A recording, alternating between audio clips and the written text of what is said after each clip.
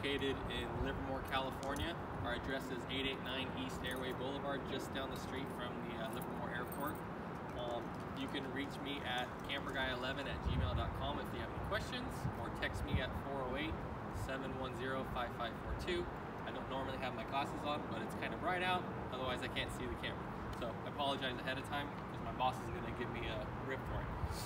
Today I want to show you real quick just the uh, Tri-5 tank option. The Yes, the propane tank cover is standard. Um, you get two propane tanks included in your factory order. The third propane tank is the option. This is just the access panel to get to it if you wanted to turn off your gas tanks. Um, make sure that this is facing north-south prior, but to take off the tank cover is just four latches.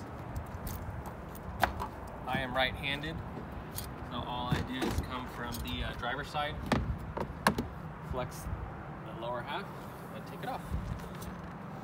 Now if you order it without the Tri-5 tank option, you only get two tanks standard. The third is an option. Um, kind of nice just to have spare LP left over, just in case you do run out.